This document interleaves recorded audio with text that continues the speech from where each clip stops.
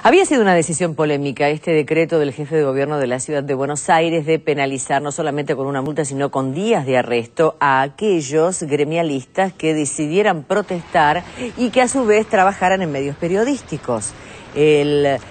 juez Roberto Gallardo suspendió la vigencia de este decreto. El abogado Lisandro Teskiewicz, junto con abogados como Aristides Corti, Eduardo Tabani, Marcelo Churín, presentaron un recurso de amparo ante la justicia porteña peticionando se declarara nulo este decreto suscrito por el jefe de gobierno Mauricio Macri en el que se penalizaba la protesta gremial de trabajadores de empresas periodísticas. Según el informe, a través de un comunicado, los letrados sostienen que el gobierno porteño pretende modificar el código contra